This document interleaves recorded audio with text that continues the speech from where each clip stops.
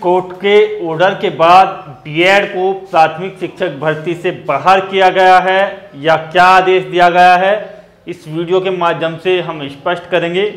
काफ़ी ज़्यादा video YouTube के ऊपर जो है इस तरीके से वायरल हो रहे हैं कि अब जो है विभिन्न राज्यों में जिस तरीके प्राथमिक शिक्षक भर्तियाँ होती हैं, उसमें बीएड को जो है उस दायरे से बाहर कर दिया जाएगा, अर्थात बीएड वालों को प्राथमिक शिक्षक भर्ती में शिक्षक में फॉर्म भरने का मौका जो है नहीं दिया जाएगा।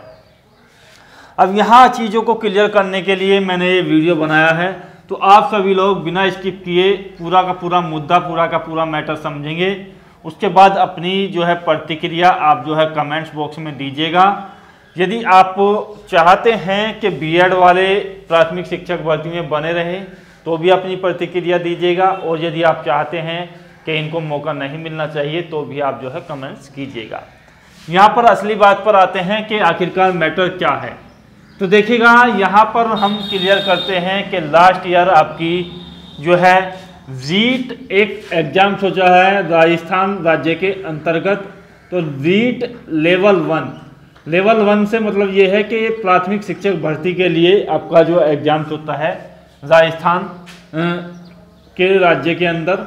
तो उसमें क्या हुआ कि आपके जो है बीएड और डीएलएड दोनों को जो है इसमें शामिल किया गया। अब इसके अंतर्गत जोधपुर हाई कोर्ट आता है, जिसमें ये मामला चला गया।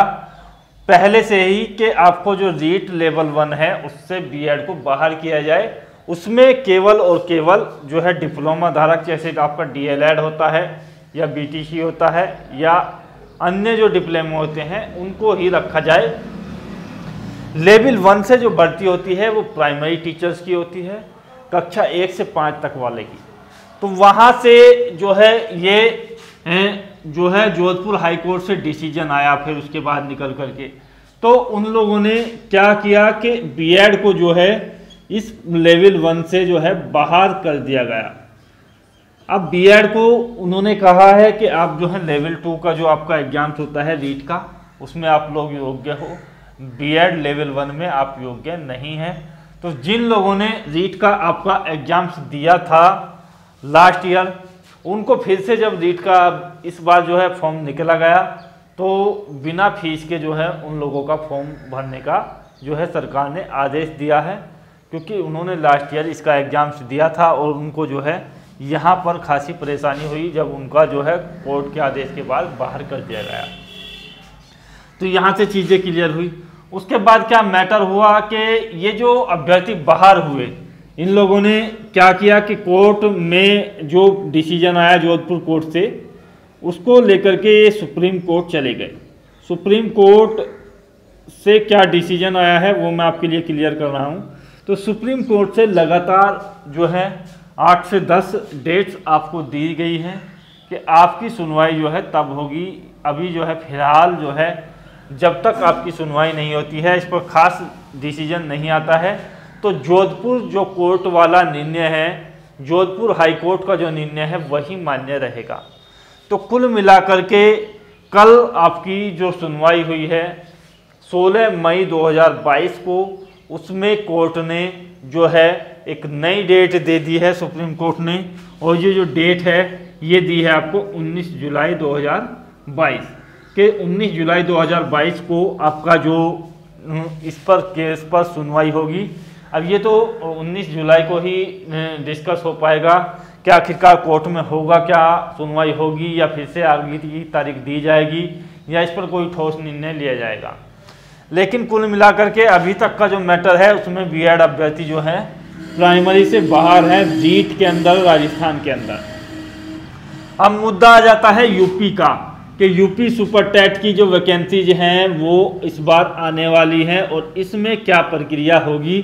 बीएड वाले अभ्यर्थियों के अंदर ये है, इसी तरीके की घबराहट है कि उनको इसकी तैयारी शुरू कर देनी चाहिए या नहीं कर देनी चाहिए। आखिरकार क्योंकि जब राजस्थान राज्य में इस तरीके का डिसीज़न आया है और सुप्रीम कोर्ट यदि बीएड को यहाँ से अयोग्य घोषित कर देता है तो फिर जो है, जहाँ तक सुप्रीम कोर्ट का पक्ष है, वो यही लग रहा है, जो जोधपुर हाई कोर्ट का डिसीज़न है, उसके तरफ़ ही आपका झुकाव लग रहा है। तो वहाँ से बीएड बाहर हो सकता है। तो ये चीज़ें लेकर के यूपी के अंदर जो है, डर है। तो मैं आप लोगों के लिए यहाँ से कुछ क्लियर करना चाहूँगा चीज़ें, जो मेरे अनुभव के आधार पर है, कि आखिरकार आपको करना क्या होगा, सुपर टैट आपका कब होगा, और इसकी तैयारी आपको कैसे कर लेनी चाहिए।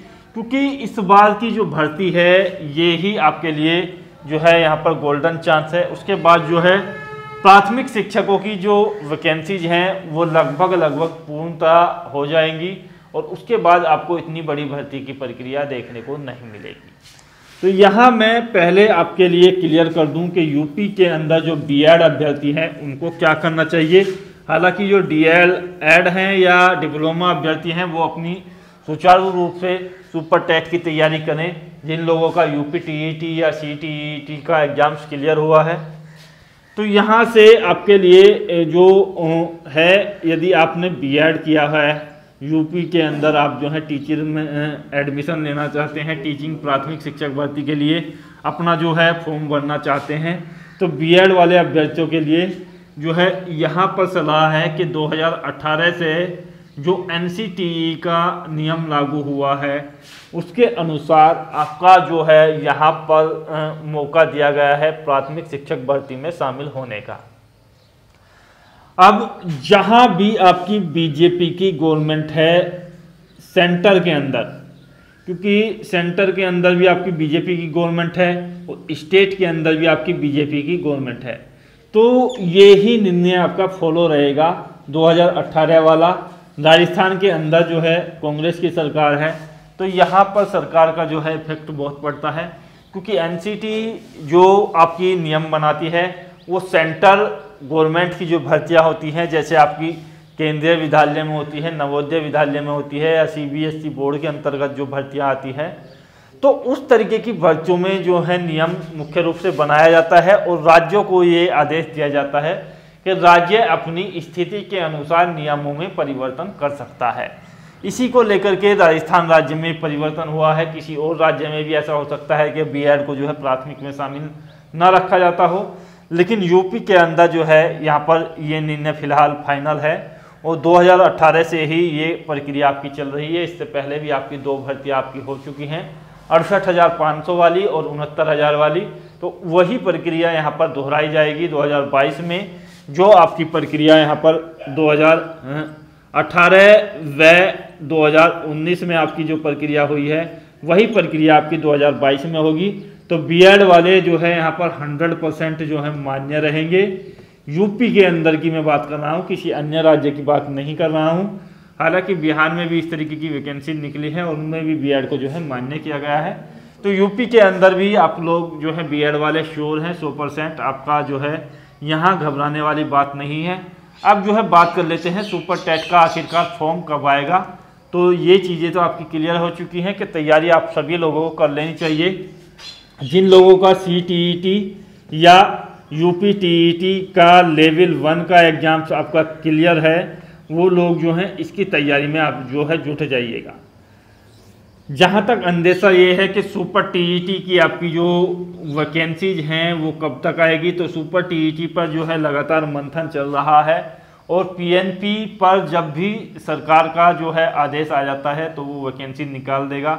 संभावना यही है कि आपकी जो वैकेंसीज हैं, वो जुलाई और अगस्त इन दो महीने के अंतर्गत आपकी जो है 2022 में निकल सकती है।